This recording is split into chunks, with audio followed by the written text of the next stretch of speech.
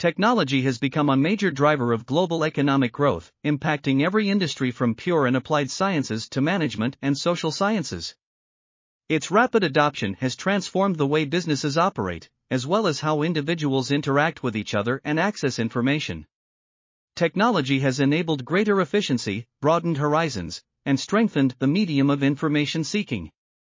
Websites are an integral part of technology, providing a platform for the exchange of information between organizations and the public. Educational institutions use websites to reach out to prospective students, existing students, researchers, and others who may be interested in learning more about the institution.